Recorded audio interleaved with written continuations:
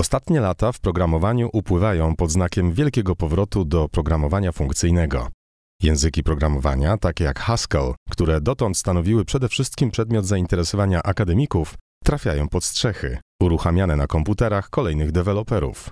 Niesiona falą powracającej mody na funkcyjność, także większość najważniejszych języków programowania udostępnia obecnie obsługę podejścia funkcyjnego.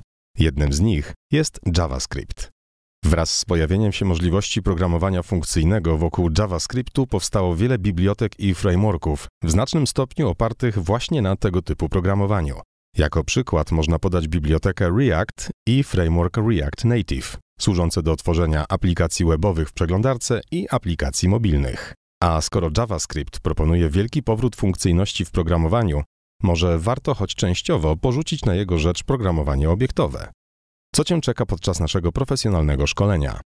W trakcie pracy z tym kursem wideo zdobędziesz zaawansowaną wiedzę na temat programowania funkcyjnego i opanujesz podstawy technik programowania reaktywnego.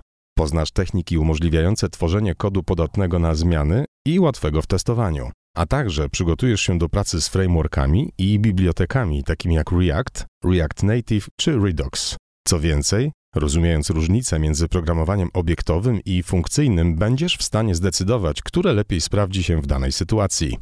JavaScript, kurs wideo, programowanie funkcyjne i reaktywne jest przeznaczony dla osób znających podstawowe elementy języka JavaScript, takie jak typy danych, pętle i operacje warunkowe.